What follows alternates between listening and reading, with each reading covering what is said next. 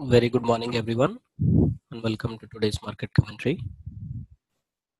So, not too many good setups today, but uh, we'll just have a brief overview of how Nifty is performing. So, an important point to observe here would be the gap up zone as well as the central pivot point of this month. So, this confluence is acting as a very, very strong support for Nifty since 7th Jan.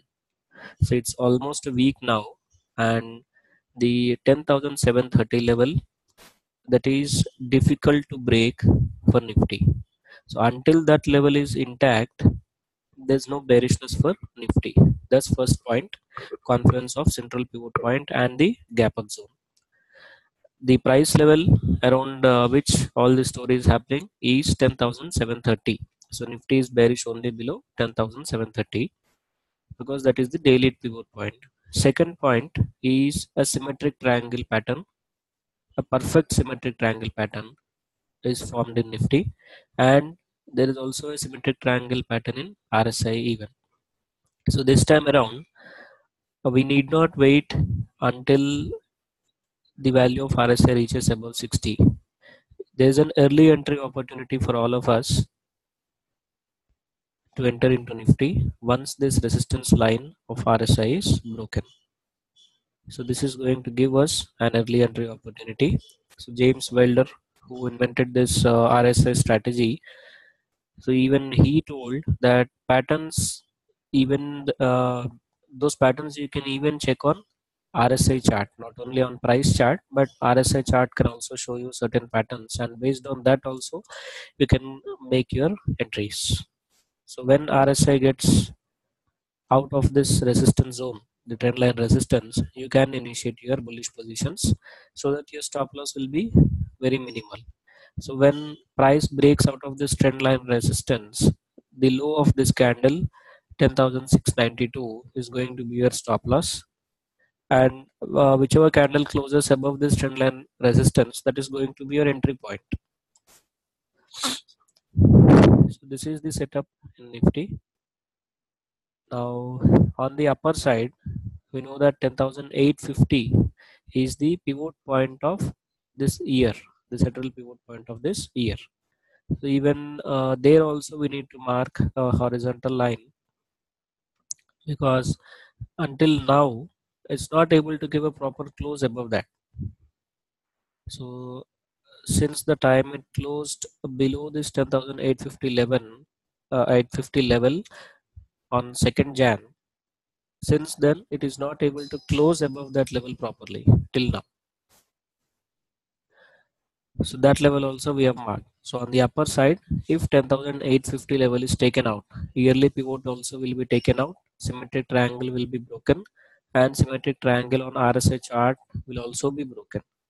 So these all are a perfect setups for bullishness in Nifty. But remember the level is 10,850 on the upper side. So coming to Bank Nifty,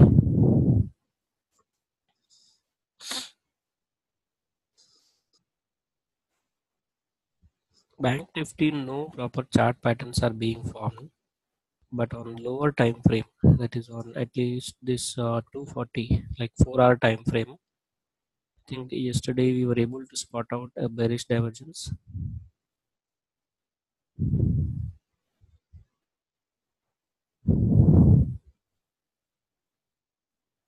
So this was the bearish divergence, price making a higher high and RSI making a lower high. So what we thought was draw a trend line support and when this trend line support gets broken we'll be bearish. The trend line support got broken also yesterday first candle but still bank nifty is not being bearish. So this time uh, charts are not very clear. Whatever setup we draw on the chart that's not getting successful actually we all know that in technical analysis nothing works uh, perfectly 100% of the times. We need to go according to the market. If price comes back above this trend line uh, resistance so earlier this was a support. Now if this uh, support line gets broken price goes above that this becomes a failure breakout. So that will in turn make Bank Nifty further more bullish. But still this uh, RSI bearish divergence is still there with us and we still have this resistance line intact. So this breakout will not become a breakout failure until this trendline resistance is respected. So that means a green candle should close above this trendline resistance. Only then our RSI divergence setup will be a failure and we need to uh, go according to the market then. So this was our view on Bank Nifty. Now daily and monthly time frame, we know that it is still in bullish zone. Only on hourly time frames, we could spot out a bearish divergence. Yeah, even on daily time frame, this remains uh, a divergence or is say bearish divergence. What a slight one. And now coming to the stocks for the day from my side, Godfrey Phillips is my favorite pick for the day. RSI pivots and Bollinger Bands all are in bullish zone and there is a long-term trendline resistance. So if price closes above this trendline resistance, it immediately has a resistance at 940. So today's high itself is 940, from 931, 9.15 so 940 to 955 is again a resistance zone for Godfrey Phillips above which the previous high can be expected. So this was uh, mainly for my intraday trading purpose. And that's already achieved 940. So above 940 if at all you want to trade 940 to 950 is a resistance zone. So above 955 you should start looking for bullish opportunities.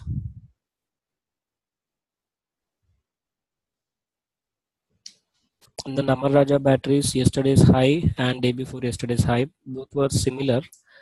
RSI is also above 60 Bollinger Bands and pivots also showing bullishness. So if a candle settles above this 766 price level so above 766 until 785 it has got uh, no resistance. And above 785 806 is the level where uh, this stock might come to then there is Sun Pharma ascending triangle pattern. And above 454 the stock is bullish. But we know that this gap level is of a bit concern here. So above this 478 is what the max that we can expect in Sun Pharma. So first the candle needs to settle above 454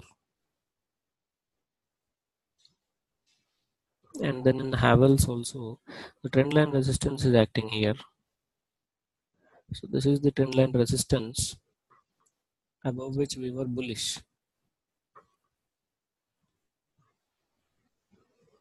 So if it becomes a bearish engulfing candlestick pattern today you can start accumulating short positions in the stock.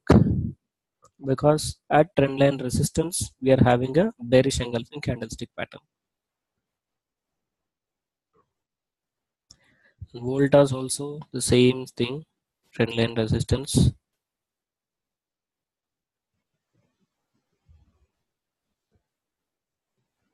So we want a bearish engulfing candlestick pattern here for that bearishness to continue. Wow, stocks from the participant side.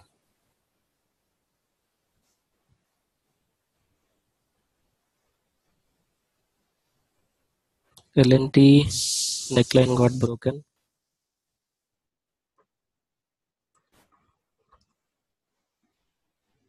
And that level 1345 is still acting as a resistance.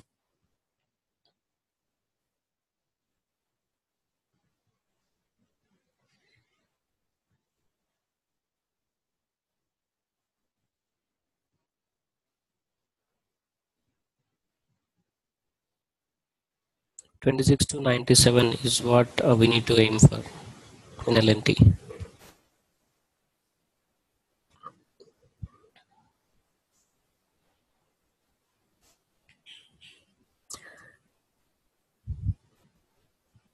Siemens uh, continuous resistance zone near the price level of 1075 so above 1075 the previous high can be your target 1097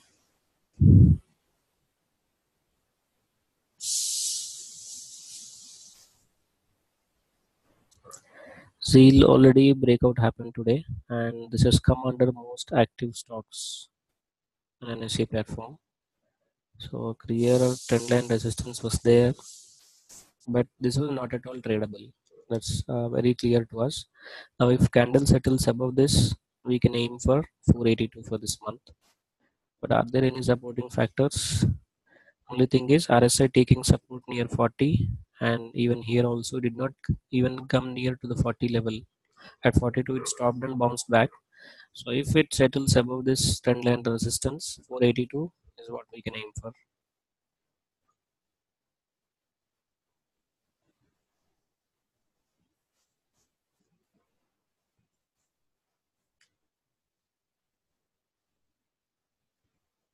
no pattern at all in M&M fin. And small caps we are not going to take.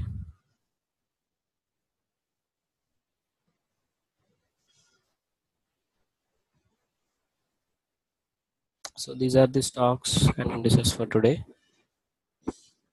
Thank you all for joining. Yeah i think we have one more stock button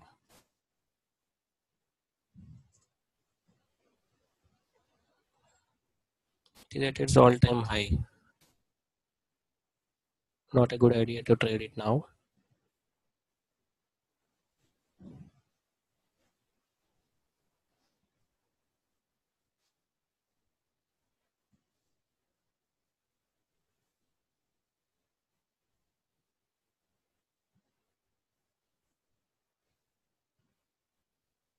Big support for the stock here their uh, price accumulation has happened and that's the reason from this point there was a good rally on the upside.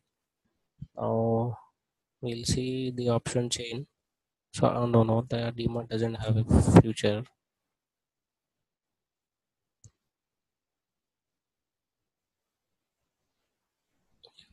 You have S2 as your uh, support. So this is a very strong support to DMART as for me because the demand zone and S2 of this month.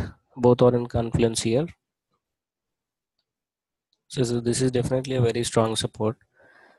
On a higher time frame no.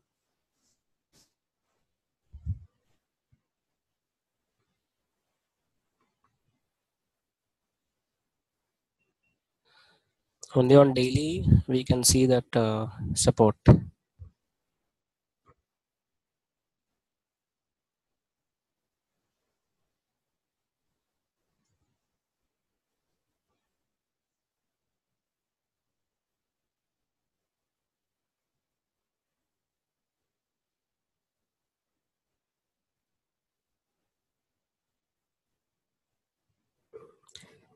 breakout has already happened in MCX on plain chart if you see this was the resistance zone. And uh, that got broken. On plain chart until this price level is achieved 833 you don't have a resistance.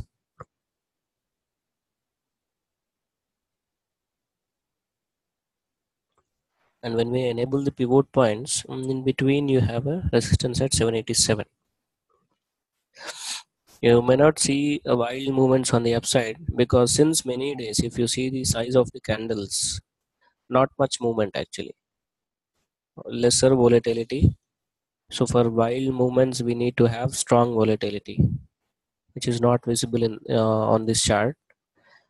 So small target until 787 can be seen here and uh, if that gets broken 833 so thank you all for joining